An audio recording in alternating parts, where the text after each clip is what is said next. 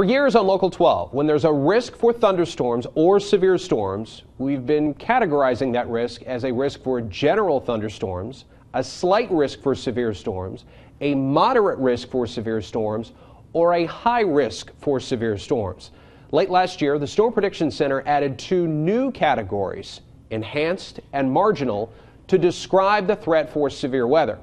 Going forward, you'll see the Weather Authority describe the threat for thunderstorms or severe storms under one of these categories.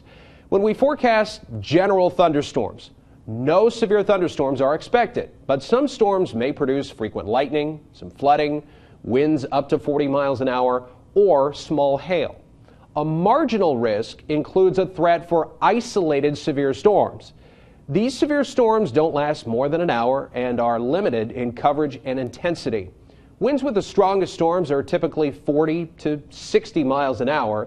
Hail may be as large as quarters, and the tornado threat is relatively low. Next is a slight risk for severe storms.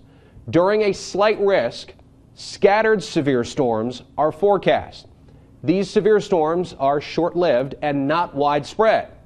The strongest storms often produce damaging winds, hail up to the size of hen eggs, and may produce a couple of tornadoes. An enhanced risk for severe storms means there will be numerous severe storms that are more persistent and widespread. Some storms may be intense. There will be several reports of damaging winds, large hail, and up to a few tornadoes may be confirmed. A moderate risk for severe storms means that severe storms are likely. Severe storms will be long lived, widespread, and intense. Damaging winds are likely with the strongest storms. Hail is often large and destructive. The strong storms in our area will be rotating and may produce strong tornadoes. A high risk for severe storms means that a severe weather or tornado outbreak is likely. Severe storms will be widespread and will be intense.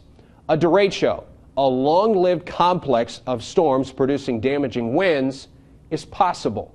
Hail will be large and may be very large. Tornadoes that develop may be strong or violent. March 2nd, 2012 was a high risk day in the tri state. 11 people died as a result of the tornado outbreak.